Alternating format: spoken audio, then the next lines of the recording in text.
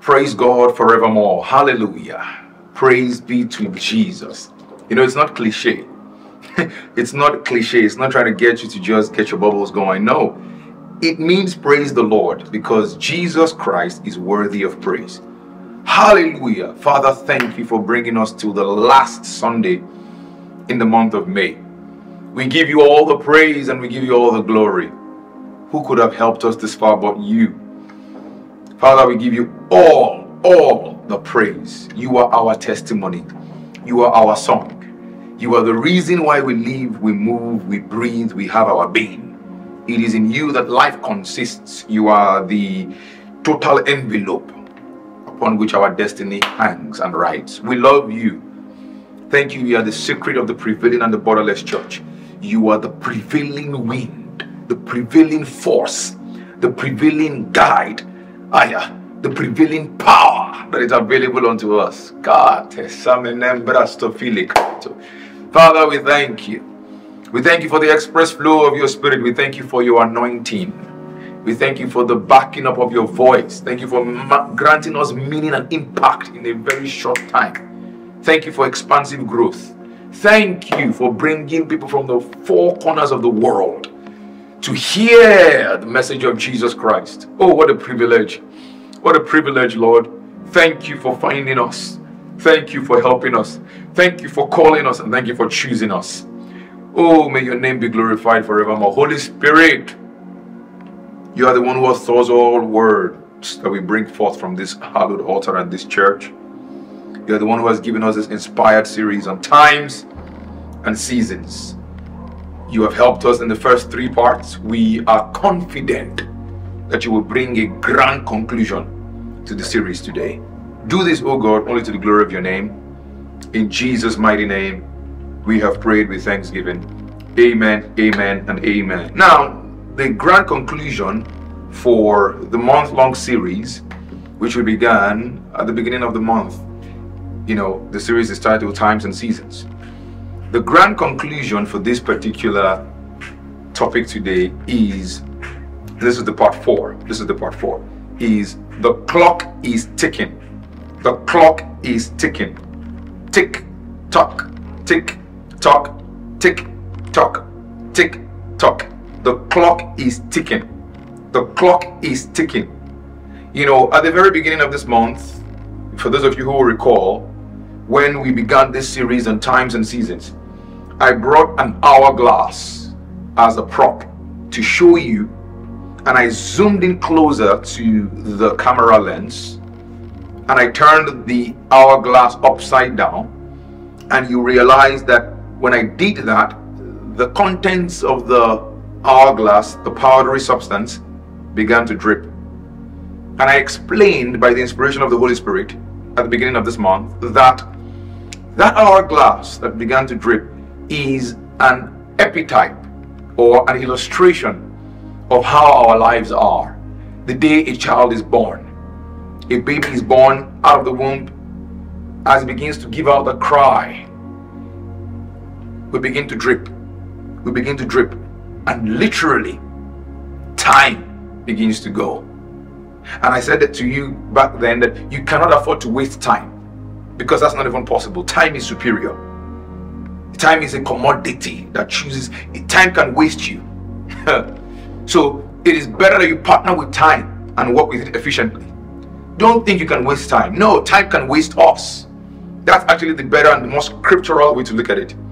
Yes, indeed. And the anchor text that will guide us in today's grand conclusion, part four of this ongoing series, Times and Seasons. But today's particular conclusion is the clock is ticking. Clock is ticking. The anchor verse of scripture that will guide us, the verse of scripture that will guide us here, is Psalms 90 and verse 12. Psalms 90 and verse 12. So, teach us to number our days so that we may apply our hearts unto wisdom. So, teach us to number our days that we may apply our hearts unto wisdom. See what I said? You don't get to waste time. Time can waste you. So the only way to avoid time wasting a man or a woman is to partner with time and work with it efficiently and effectively, numbering your days and applying your hearts unto wisdom. It's a prayer. Lord, teach PBC, teach myself, teach my household, teach the church of Christ, teach the members of your church, oh God, to number their days so that they may apply their hearts unto wisdom. Oh God, if you understand this teaching today, it might set you free. So please pay close attention. Pay close attention. Even as God takes us through the grand conclusion on this teaching. You may have heard them saying that time is money. But permit me to say unto you today again that time is not money. Time is deeper than money. Time is not just money. I know you get so used to the constructs of hourly wages and whatnot. I get paid by the hour. I make XYZ bucks an hour. Lawyers charge by the hour. Consultants charge by the hour. And so on and so forth. But time is much more than money. You can lose money and recover money. God Almighty.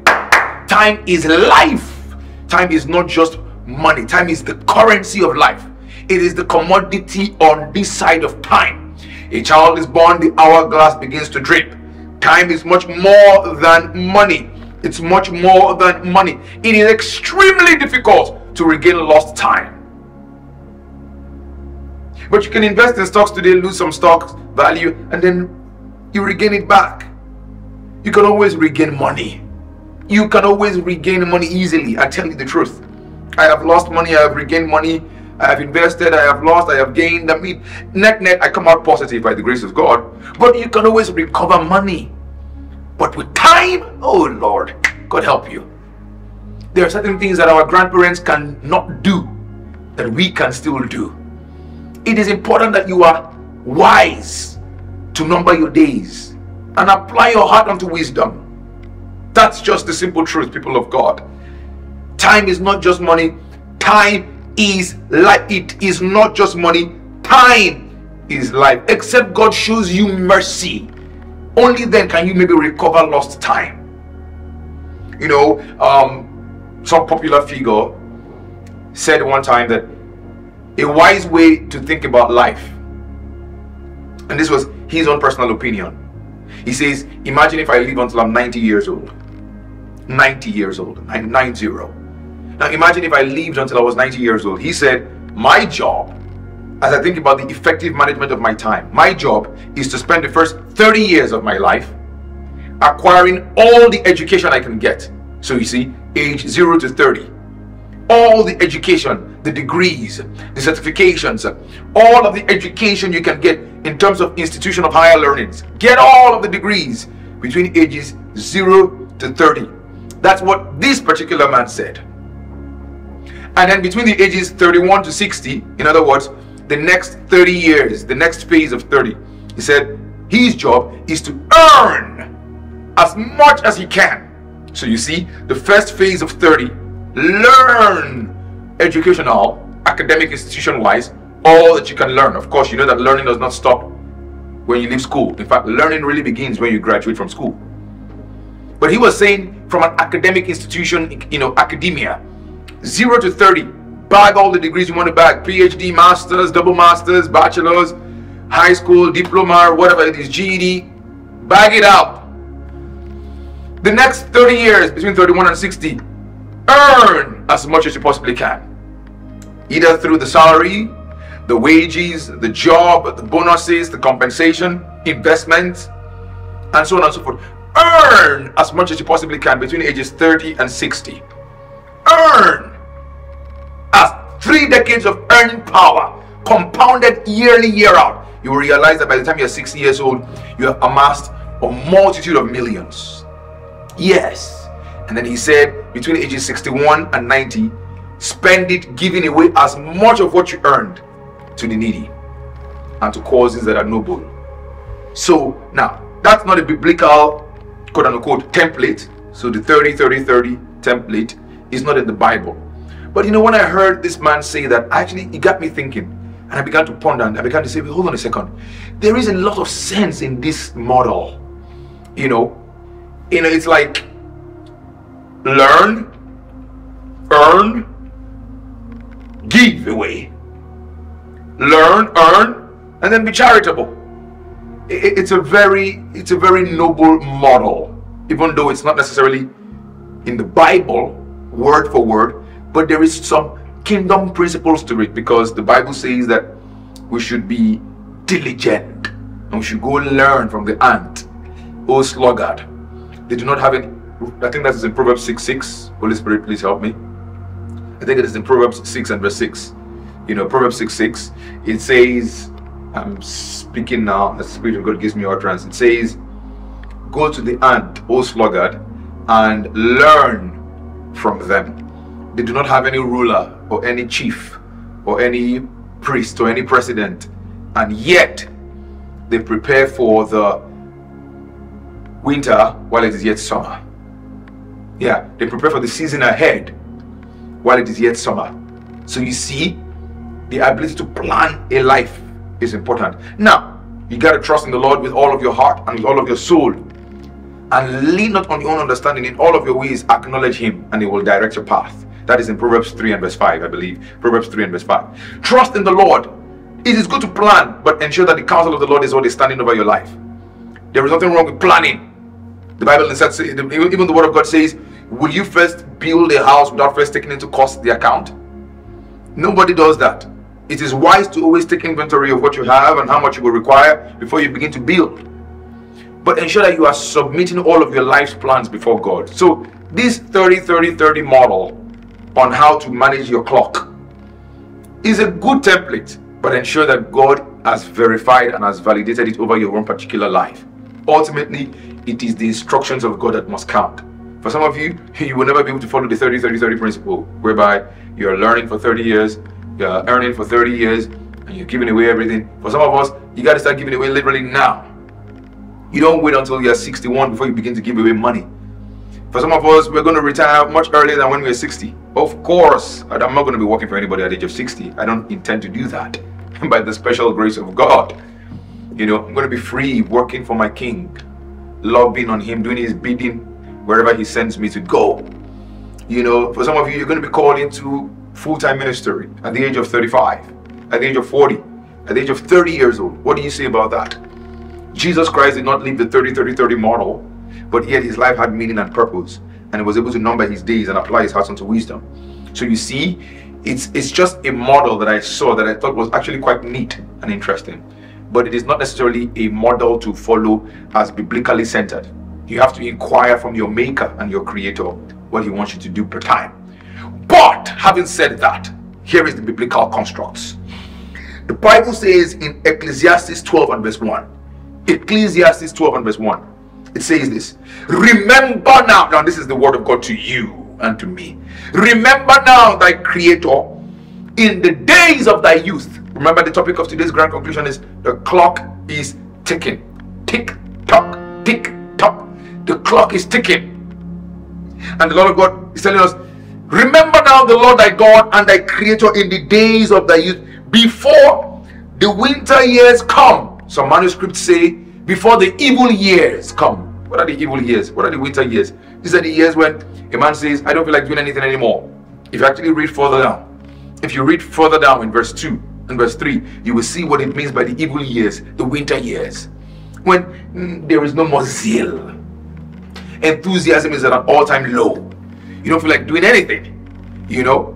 So before you get to that point, remember now the Lord thy God, thy creator in the days of thy youth. Deploy your energy for God.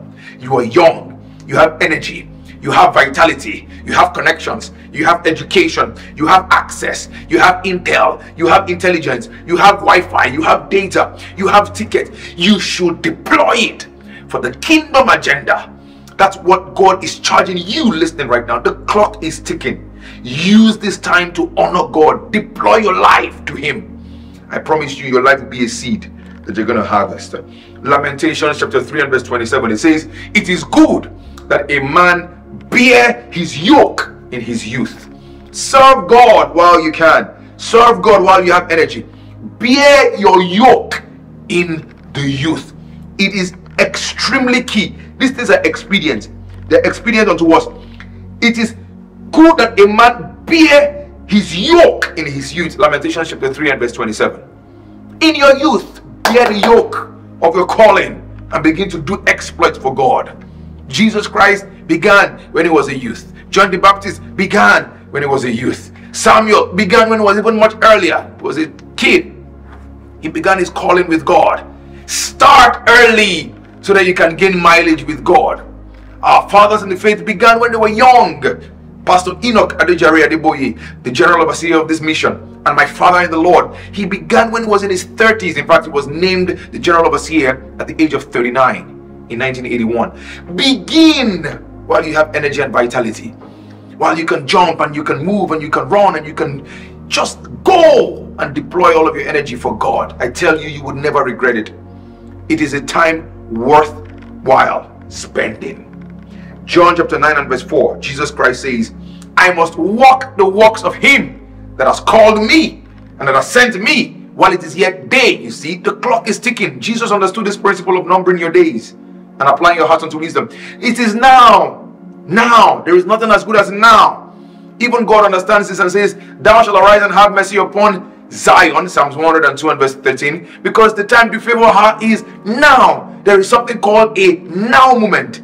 Hebrews chapter 11 and verse 1. Now, faith is the substance of things hoped for. It is now, now, now, now, now. Is a, a very important point. Now.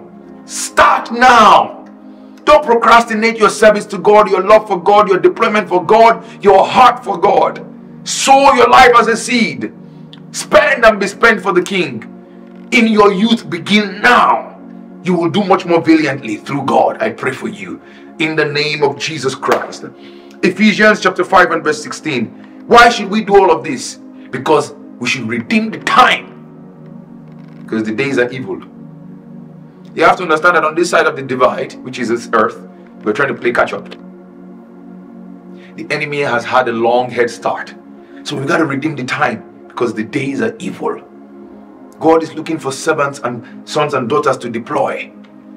The Lord is saying, I'm looking and I'm searching I sought for a man who will stand in the gap. And by man, that is male or female. Of course, when we, when we say the word man in scripture, it is a by gender term. I sought for a man who will stand in the gap, who I will send. God is looking, looking, and the Bible says, Oh, a heartbreaking thing. He says, But I found none. I pray in my generation and I pray in PBC, God will find available vessels in the name of the Lord Jesus Christ who will go the whole way for Him. Look at what God did last month at the hangout with Jesus. See how much God transformed lives. He wants to do much more of that through you and with you. You know, honor God, remember Him, deploy. The good news is that there is a God who is able to restore time that you may have spent wasting away in iniquity. That God is called the God of restoration. Yes, I told you that it is almost impossible to recover time when you lose it. You can recover money easily.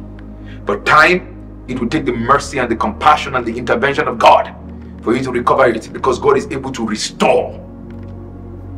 The reason why God is able to restore time is because God made time.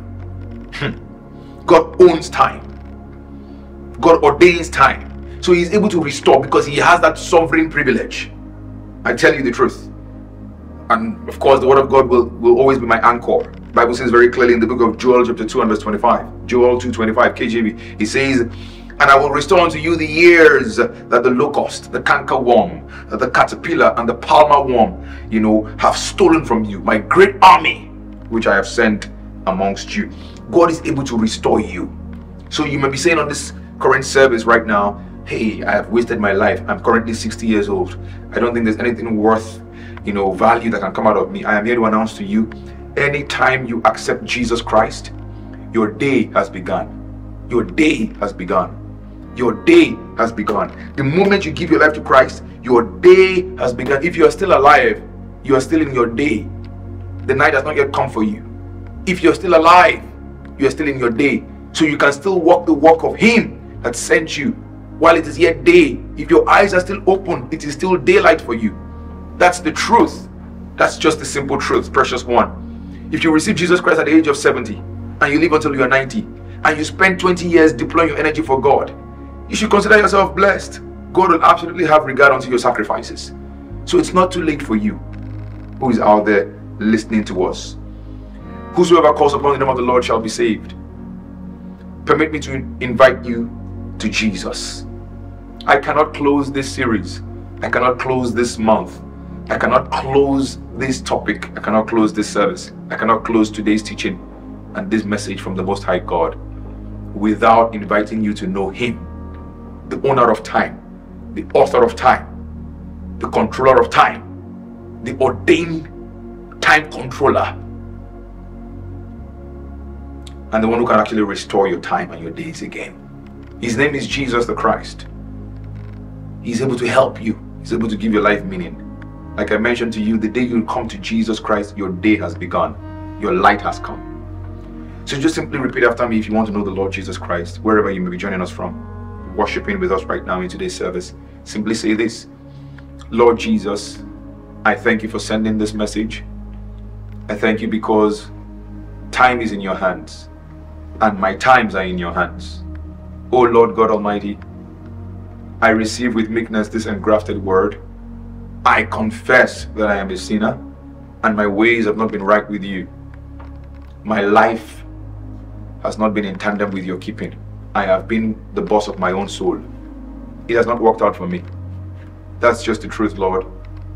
Even though I seem to be comfortable financially, I have an emptiness in me that no one else can feel but you. I see the error of my ways now and I repent. I confess today that Jesus Christ is both Lord and Savior over my life. Come into my heart. Teach me how to live. Teach me how to walk. Teach me how to talk. Write my name in the book of life. Plant me in your custody and watch over me in your jealousy. Don't ever let me go again. Now let me begin to deploy my time more effectively and more efficiently for your business and for your bidding. I am saved and I believe this to the glory of your name. In Jesus' name, amen. Now, you said that simple prayer, boom, right there, you are saved. Welcome to life. Welcome to your day. The season is upon you. Glory be to God forevermore. Now, fill in the link, click that link that is right now in the chat box and if you're following this in the aftermath, perhaps you're going to watch this in the replay, there will be a link in the description of this video. Click on that link to take you to a very quick short form on our website. It takes you about 30 seconds, literally just about 30 seconds to fill it out. We promise to keep your information confidential. We will bring you into an academy and a factory of discipleship where you can begin to grow with a bunch of other amazing believers who love Jesus across the world.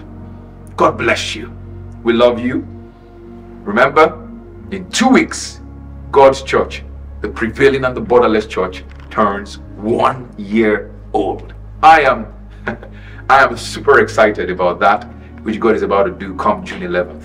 So mark your calendars, June 11th is going to be a grand worship celebration of our King. Glory be to God forevermore. Till then, stay rapturable and remember the clock is ticking. Tick, tock, tick, tock, tick,